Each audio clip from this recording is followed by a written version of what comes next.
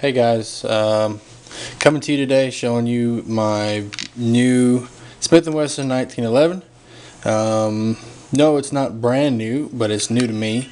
Um, I made a trade for it today um, off of a Facebook group, and I'm really excited about it. I have been looking for a nice commander size 1911 for a while. Um, I picked up a Citadel, and I had it for a little bit, but um, I like the black and stainless look and I was really struggling to find one. So I finally found one um, and it's a Smith & Wesson so I really like that. Uh, it's going to be dependable. Um, I can get some parts for it um, you know to upgrade or you know do whatever I need to do and it's not going to be difficult to find even though most 1911s are um, universal and the parts that they accept or take. But this is a commander size 1911 um, this particular gun was manufactured in um, about 2007 so uh, considering that it's you know solid metal it's not gonna uh, you know it's not gonna have to worry about it breaking or anything like that but um, so it's not brand new. Um, it's the um, Smith & Wesson. It's the S the SC subcompact 1911 I don't know if you can see it right there. It's kind of on there. There's a little bit of um, like light engraving or lettering on there. Uh, it's a little bit older. I don't know if you can see it. There you go.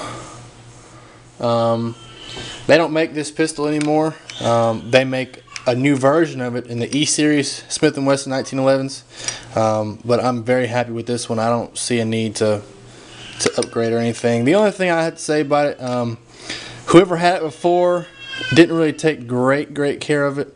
Um, I'm gonna have to get out my Dremel and do a little bit of polishing on the slide and really clean it up and oil it up. It's got a um, Wilson Combat upgraded uh, recoil spring. The recoil is pretty, pretty hard.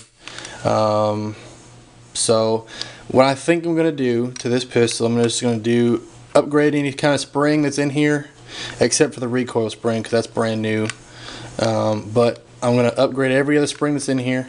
Um, polish the slide up. I'm actually going to keep keep the black that's in there. Uh, it's I don't know if it's black. It's more stainless. It's it's just cut at a different angle. So if you turn it that way, you still see see stainless. But if you turn it straight, it looks like it's black. And I really like that.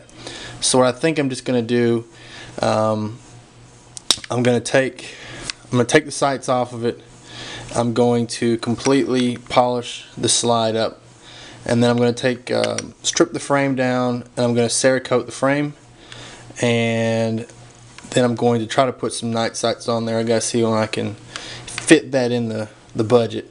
Times are hard, but uh, but that's gonna happen. I like the grips on it. These are the Smith and Wesson grips. They're they're kind of rubberized. Um, I do like it. Um, safety's good on it. Nice. Um, so trigger on it, I have to say I do like it. Um, it's got the adjustable trigger on it. Um, it doesn't really have any take up to it really. Barely any. I, am probably adjust it just a little bit. But, um, you know, barely any. And there it is. Just the way it comes. So I like that. So, uh, this just showing you what I got. And I will definitely be doing another video uh, before too long after I do a little bit more work to it just to see what you got, just to let you guys know what I've been doing. So, alrighty, that's it.